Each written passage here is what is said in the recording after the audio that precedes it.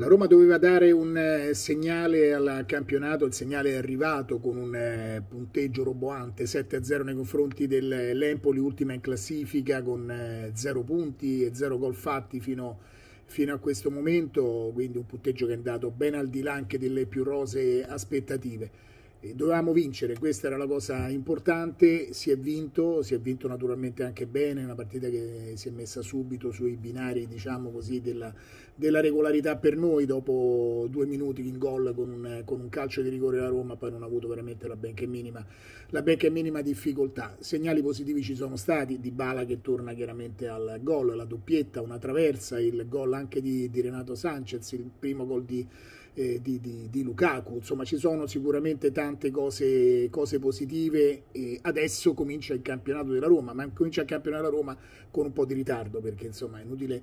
poi ricordare che i punti che abbiamo perso sono punti che adesso dovremmo cercare in qualche modo di andare a recuperare, di correre e di rincorrerli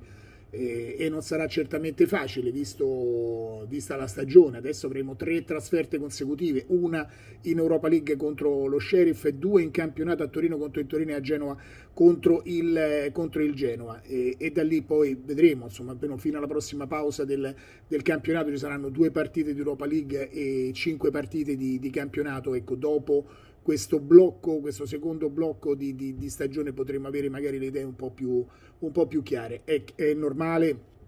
che eh, l'avversario era un avversario molto più debole rispetto alla Roma, c'è bisogno anche di, di impegni anche di diversi per cercare di testare veramente le possibilità che può avere questa, questa, squadra, questo organico, perché poi mancavano comunque tanti giocatori, altri che erano entrati e comunque non erano certamente al meglio. Devo dire la sincera verità, la mia più grande paura era proprio quella di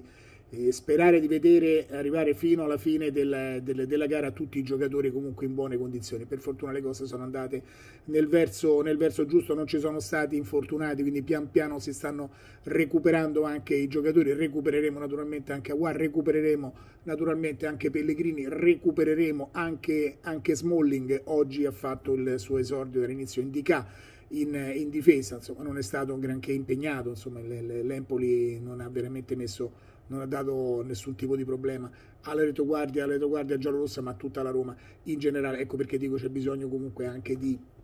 di, di, di prove diverse per poter dare un giudizio definitivo su quello che è proprio l'organico l'intero organico della, della, Roma. Però c'era anche bisogno, rispetto, di una bella vittoria, di una vittoria, di un segnale ben preciso e ce lo teniamo, ce lo teniamo stretto, ce lo godiamo, ci prendiamo i tre punti e speriamo che possa, possano essere l'inizio, ecco, l'inizio di, un, eh, di una stagione che possa veramente darci delle, delle, delle, soddisfazioni. Le potenzialità naturalmente ci sono, sperando che siano tutti quanti nelle migliori condizioni possibili. Adesso giovedì iniziamo l'Europa League, iniziamo il cammino in Europa League e cerchiamo di, farla, di farlo naturalmente con il, con il piede giusto. Il segnale oggi è partito, il segnale oggi la Roma lo ha dato. Un abbraccio a tutti quanti voi e sempre, sempre, sempre, forza Roma, forza Roma, forza Roma.